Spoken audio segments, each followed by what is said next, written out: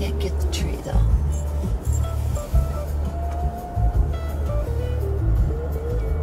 Oh, you're kind of cute, Mr. Dragon.